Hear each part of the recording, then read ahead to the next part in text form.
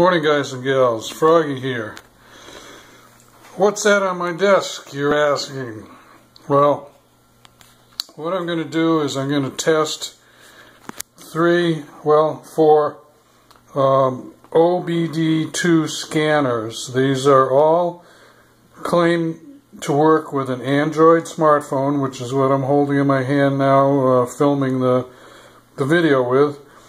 And they're all Bluetooth connections and I'm actually only going to film three of them. Let me show you this. This one has already gone back. It was called BAFX Products Bluetooth OBD2 scan tool. And when I plugged it in to my Corvette, it did not light up and it also caused about a dozen error codes or, or diagnostic codes on about five or six different modules in my car. So it was clearly dead on arrival. I sent it back.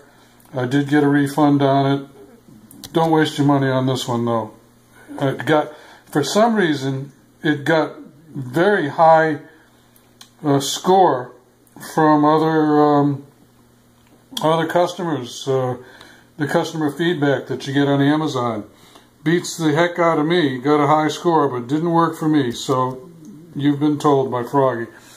Uh, now these other three, I'm going to take them one at a time. And I'm going to uh, plug them in, see if I can make a Bluetooth connection with my phone, and then see if I can uh, read some data off my car. So let's take them out to the car.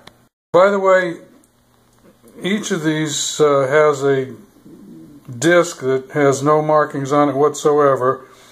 Um, I don't recall that this one had a disc with it. Uh, and uh, each of them comes with zero instructions or user manual or even a page, uh, a quick start page. So I'm going to uh, just fool around with them. I guess I'll stick, uh, I'm going to do one at a time just so they don't get all mixed up. And I'm going to put this CD into my computer and see if some instructions come up. I assume that's what will happen. This is the disc from the Sim Valley Mini, the first one I'm trying out. And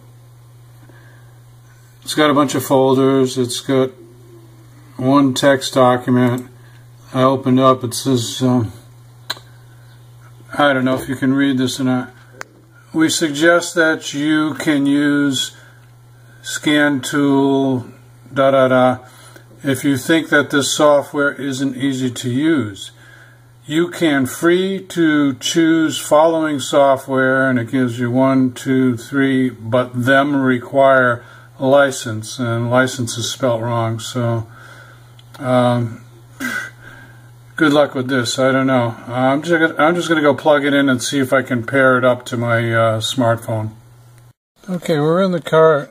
The the OBD2 port, follow my hand here, is right underneath the steering wheel, just about in the center the way most of these devices work is they get their power from the car from the OBD2 port and this one is going to be the same way because it doesn't have any power.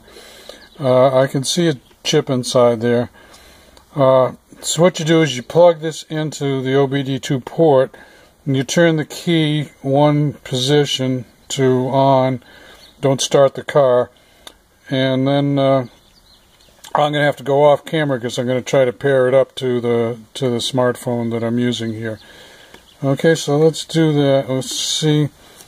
Don't see any lights that light up on this one. Some of them have lights that light up.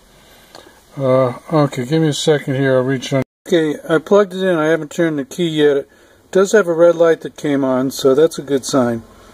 Uh, maybe I'll try to pair it up now before I turn the key. I'm back. Well, I couldn't get it to pair up with my phone. Um, I opened up the Torque application. The Torque app, app is what's recommended by all, pretty much all of these tools to um, diagnose uh, and look at different data from your engine. Uh, but it didn't pair. All I did, all I got was a message that said that this was not paired with anything. uh, oh no, excuse me, I got a message from Torque that said that Torque was not paired with any other device. So I'm going to go back to my desktop computer and go on so go on a forum or something or try and figure out maybe call the manufacturer. Good luck with that. Probably in China. Anyway, try and figure out how to get this thing to work. I'll spend a little time on it and then I'll move on to the next one. Well, I uh, I read all the comments on Amazon and uh, nobody knows anything about connecting it to my particular phone, which is a Moto X Android phone. Uh, there's no phone number for Sim Valley. Uh, so I'll go out and give it one more try. Uh, I looked on the CD uh, disk and I couldn't see anything, any file name that was titled like Bluetooth connection. So if there is anything on there, it's buried a few levels deep. Uh, so let's go try it one more time and then we'll move on to the next one. This time I'm going to uh, open up the Android app on, on the phone and then I'll plug this in and uh, turn the key and see if that makes a difference the order that you do things. I'll have to go off uh, camera and I'll get back. Okay, I'm shooting this with a different camera uh, because that's the smartphone that I'm using for the OBD2 reader and app and I hope I'm going to be able to stitch this together into one video.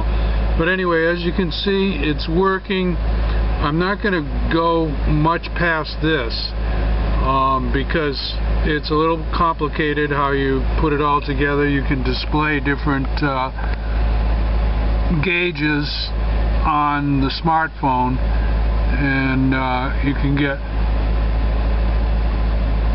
error codes, history codes, uh, current error codes, and so on. Uh, so I'm going to call this one uh, okay, it's working uh, successfully. Uh, now I'm going to try another one. Okay, I used that camera there to record this camera that I'm holding right now uh, because it did work and I'm going to um, call that one good. I'm going to try and stitch together the videos to show you uh, in one video. Um, it's getting a little bit complicated. But we're going to call that one good and try the next one. Okay? So what I found out on the first one is you have to go into your phone and use your phone Bluetooth settings and uh, searches to find the device. Uh, so let's try this next one it says V-gate there. Of course, this one says V-gate also, so, you know, it it's getting kind of uh, hard to keep them all straight. But anyway, this one is bigger. This one's a mini size. This one is in between the two. Well, let's try this one and see what comes up. Okay, this is the second device. Let's just call this the big one. Uh, V-gate, the big one. The other one will be V-gate, the white one. Um, anyway, it's working, and for all practical purposes, it appears to have the exact same graphics as the first mini one that I used. Anyway, let's try V-gate, the white one. Well, the second one worked. I'm calling it V-gate, the big one. And uh, also, it it paired up almost automatically. I didn't have to go through the uh, what I did on the first one. So I'm going to uh, try the white one now. V-gate the white one. Okay, so this is V-gate the big blue one, and uh, so far they both work. This one seemed to pair up easier, and this one is Erusun mini V-gate. Yeah, I guess it's smaller. And this one also has a power switch on it, an external power switch on and off. And I think this one was the most expensive one. Yeah, this was 18, 18 bucks, 11 bucks, and 12 bucks. Uh, and remember, as I told you, BAFX was dead on arrival. Uh, so let's try this one, and we'll see what we got. This is the one with the power switch on it, and I just turned it on. And let me get my mirror out, and I'll show you. I think.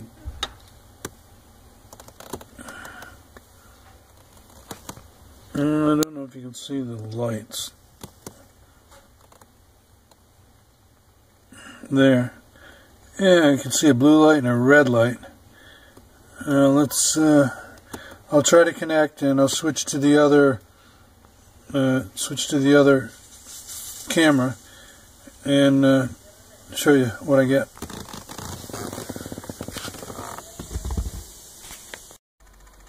Well, that's that's the last one. I just tried it. I could not get it to pair. Um, this is the one I you know, it's got power on, off. I tried all different things. Power this first, power the phone first, uh, turn on torque, turn off torque. Just couldn't get it to pair. Um, the other two are working. And uh, so, and they seem to have exactly the same graphical uh, display which is kind of funny. I think this all this stuff probably gets copied in China and resold on the internet. So that's what I've got for you. Now, step two, which is going to be a different video, is I'm going to try to get this working with another app on my phone called Harry's Lap Timer. Actually, I may try to get Harry's lap timer to connect with this one just for the fun of it. So let me give that a try. I'll have to plug it back in. Well, it seemed as though that I could connect the white V-gate sensor to Harry's lap timer, uh, but it didn't seem to want to connect to torque. So I don't know where that leaves me when I was in Harry's lap time, I couldn't really see data like RPMs or temperatures, but the Bluetooth part of it said it was connected. So um, I'm going to get one of the other ones, the big V-Gate or the Mini, and see if I can connect those to Harry's lap time and see what happens there.